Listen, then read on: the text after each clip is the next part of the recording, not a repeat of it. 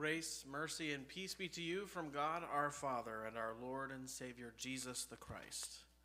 Amen. I baptize you in the name of the Father, the Son, and the Holy Spirit. Words we just heard today, spoken over Connor in his baptism, and the very same words spoken over all baptized believers of the Christian faith. The very same words spoken over you. Now, there's a lot of meaning to those words. We just sung about a little bit of that meaning. That is when God's name is placed upon you, and there is no more secure place to be than under the protection of the name of God. But it means even more than that. These words in baptism, they denote a death. They mean new life. They mean a permanent adoption into God's family. Did you know that? That baptism is tied to both death and life, both to an ending and a beginning. Well, in our gospel reading today, John the Baptist has come to prepare the way for the Lord, and he comes preaching a baptism, but it isn't the same baptism that you have received. He comes preaching a baptism of repentance. And so his ministry begins to prepare the way for the coming of Jesus. But this is the beginning of what becomes the baptism that you have received. The baptism where the name of the triune God is placed upon you, is spoken over you when that water is applied to your head. And God does some supernatural and amazing things through that water and that word. So, how do we get to our baptism, the joyous promises of forgiveness and life forever? Well, let's look at the text. Now, John is the first person to receive word from God in about 400 years. So, that little verse that is easy to gloss over is pretty significant. This is the time between Malachi, which was our Old Testament reading, and the beginning of the New Testament and the scriptures. And there's believed to be about a 400 year period of time in between where there is no word from God. And yet now we are told the word of the Lord has come to the son of Zechariah in the wilderness, John the Baptist.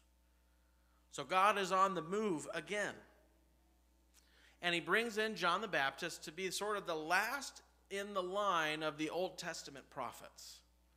He's the last in all of those men sent to the people of God to give them the word of the Lord. And what is John here to say? What is the word from God? It is nothing short of a new dawn is breaking, a new era is beginning, the kingdom of heaven is at hand. In other words, the Messiah, the promised Savior who was promised all the way back in the Garden of Eden just after the fall into sin, is about to arrive. I mean, that's where the name of our season of Advent comes from. Advent means coming or arrival, that we are anticipating and preparing for the coming of the promised Savior. So imagine, put yourself into the mind of the people listening to John. They've been waiting for the Messiah for a long time, and he is bringing the word of the Lord that the Messiah is about to be here. And John's job is to prepare those people to receive the Messiah. His goal is to get people to repent, or the literal meaning of that in the Greek is to be turned. Right? If we're turned and focused on the world and our own lives and the things that we want, we're going to miss the Messiah. And so God sends John the Baptist to turn people to Christ, to be turned away from themselves and away from their own desires and wants, away from their sins, and to Jesus, to be able to receive him. And the first step in being prepared in the ministry of John the Baptist is submitting to his baptism of repentance. And by doing this, this is pretty significant Because what this would mean is that the Jewish person who's submitting to the baptism of John is that they are believing the word of the Lord that's come to him and acknowledging the ending of an era and the beginning of a new one. They're acknowledging the presence of the oncoming of Christ and the new covenant. And you'll notice in the text that he specifically calls out two groups who reject his baptism the Pharisees and the Sadducees. And they reject it because they are the religious leaders of the day and they don't want the era to end. They're not ready for the Messiah to come and change things. They're very focused on the law and doing the work of the temple and the sacrifices and everything in the old covenant.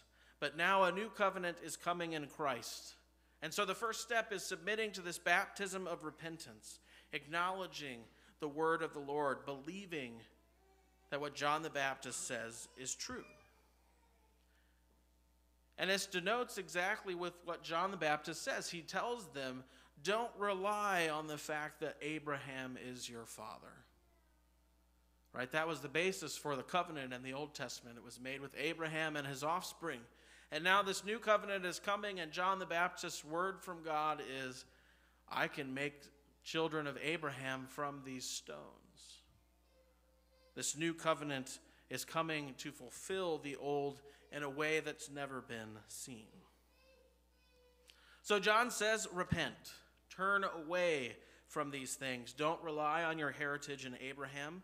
Don't rely on your good deeds or following the law, because the axe is at the root of the trees.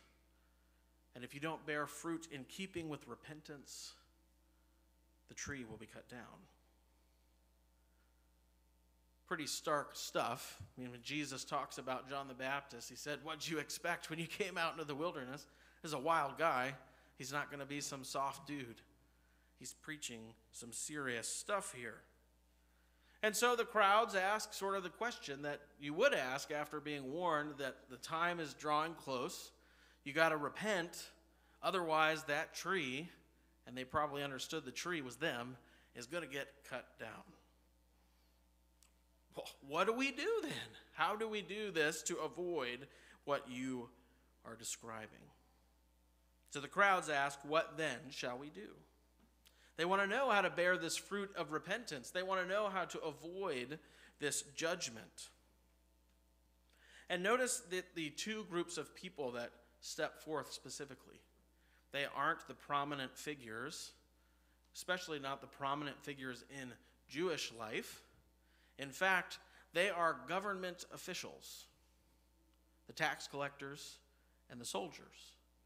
And at this time, they wouldn't have been Jewish people, most likely. They would have been Romans or Greeks, the tax collectors and the soldiers. And they come up and they ask the same question. And what is John's response? He says, Well, if you've got multiple tunics, give one to those who have none. And to the tax collectors, he says, Don't take more than you're owed. Be honest in your work. And he says the same to the soldiers Don't extort people through threat of violence or false accusations, but be content with the wages you receive. In other words, he's giving them vocational charges. He's telling them what their calling is in their jobs and to do that faithfully and lawfully. And here you might be thinking, okay, so I guess to avoid the judgment of God, I've got to do good things. I've got to do the right works. But remember again that the baptism that John is advocating here is not the baptism you received. We're not quite there yet. And his purpose isn't to bring about the forgiveness of your sins and the salvation in the eyes of God, but to prepare you to receive it. And so he wants you to turn away from your former way of life. Turn away from what you relied on for your security in that old way of life. And be ready to receive the one who does bring the forgiveness of sins, life, and salvation. So John is preaching with authority and he's preaching a baptism and he's he's making some waves. People are hearing him, they're listening to him, and they are submitting to his baptism. Notice before the tax collectors and, and soldiers come up, it says, after they were baptized, they, sent, they then ask these questions. And so people began to ask among themselves and within their hearts Is John the Baptist the promised one? Is he the Messiah? Is he the Christ? And John's answer is no, he's not. But his answer tells us a couple of things. The way he answers, he makes it clear that he isn't even worthy to do the lowliest task of the servant in the master's house, which is removing the master's shoes. So he's not even worthy to do that. Plus, there's another really cool scriptural connection. In Ruth chapter 4, there's an old custom in Israel, and I'll read a little bit of that for you that's related to this sandal imagery. Now, this was the custom in former times concerning redeeming and exchanging. To confirm a transaction, one drew off his sandal and gave it to the other, and this was the manner attesting in Israel. So when the Redeemer said to Boaz, Buy it for yourself, he drew off his sandal. Then Boaz said to the elders and all the people, You have witnessed this day that I have bought from the hand of Naomi all that belongs to Elimelech and all that belonged to Chilion and to Mahlon. So the removal of the sandal is actually the price, signifying the price being paid for the redemption of what's being purchased. And John's answer is saying here, I can't even get the shoe off, much less pay the price needed for the redemption that is required. And the second thing he specifically highlights is that he only baptizes with water. He only baptizes with water, but the one who is coming after him, he will baptize you with the Holy Spirit and with fire. In other words, the baptism of John is not sufficient on its own. It's just something to prepare you to receive the real promise. So, how does this relate to the baptism for Connor we witnessed today and your own baptism? How did we get there? Well, see, at the beginning of Luke, John kicks off this journey to Jerusalem. He begins to pave the way for Jesus' ministry, which goes to Jerusalem, and he knows he's going to Jerusalem from the very beginning to pay that price, because he can, to buy us back, to redeem us in the eyes of God. And John the Baptist is helping kick that journey off by turning people, by being turned toward Christ when he arrives. And we know this because in the very next few verses, right after our gospel reading today, is the baptism of Jesus himself. He binds himself to us by being baptized by John the Baptist, instituting the waters of baptism for what is to come in his ministry. And the cool thing is that each of us are also making a journey to Jerusalem. Now, I'm not talking about an actual pilgrimage, although if you've been to Jerusalem, it's pretty cool, I hear. But the journey, the spiritual journey that's going on in our hearts. And John the Baptist is no longer our guide, but the Holy Spirit. And that journey for us begins in the waters of baptism. And the promise of God being applied to us, the Holy Spirit being given. When we submit ourselves to the baptism, not simply of repentance, but a death to the old self and a new life in Christ. A life that is perfect, whole, and clean, and eternal. John's baptism is not our current baptism because what we are now baptized into, as far as Luke 3 is concerned, has not yet occurred. The promise and the covenant that we are baptized into has not yet happened. The Holy Spirit has not yet been given to the church, nor has the fire of God's wrath been poured out on Jesus. For that is what you and I are baptized into. That is what Connor was just baptized into. Remember, John said, He will baptize with the Holy Spirit and with fire. And this is echoed by Paul in Romans chapter 6. He says, Do you not know that all of us who have been baptized into Christ Jesus were baptized into his death? We were buried, therefore, with him by baptism into death, in order that just as Christ was raised from the dead by the glory of the Father, we too might walk in newness of life. This is the baptism that John was preparing God's people for. This was the mission of Christ, the promised one. And as you can tell today, as we got to witness a baptism and the work of the Lord in it, Jesus accomplished all of the things he was sent to do.